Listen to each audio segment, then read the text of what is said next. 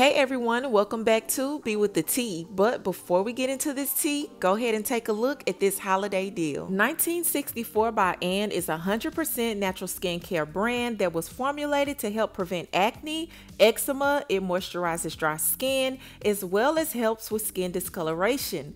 The skincare soap contains ingredients such as honey, oatmeal, sulfur, and papaya. If you're suffering with any of these skincare conditions, check them out on their website, 1964byann.com. When you purchase a bar of soap from this black owned business, a dollar from that soap will go towards the New York City Center for Children, which helps kids who suffer from abuse. Use code Bee0064 for 10% off. I will have all details in my description box below. Shop now.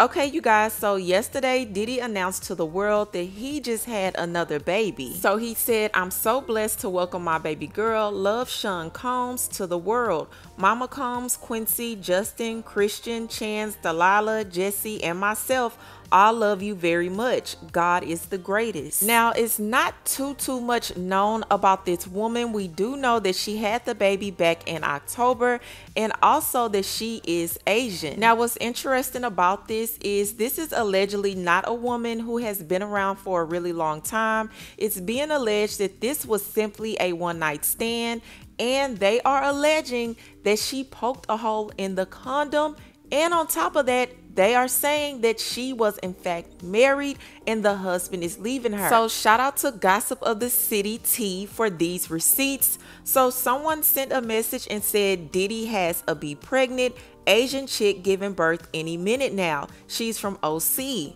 Heard it was a one night stand and she popped a hole in the condom. Zero receipts, but it will come out soon enough. She's not on social media as far as I know. And then at the bottom, if you look, they said the husband leaving her, my friend is sending you the DM. Now, this is provided by Gossip of the City.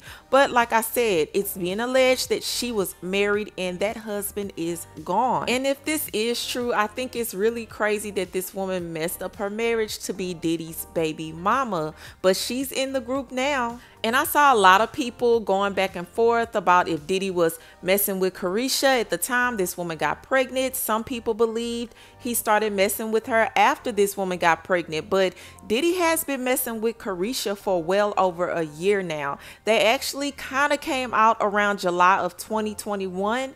So they've been having their thing going on. Now, that is just around the date that they started coming out. It's no telling how long they were talking prior to that. Now, just to be clear, Diddy is a single man. Him and Caresha have a situationship going on. So if you want to look at it that way, he did have a baby on her in their situationship.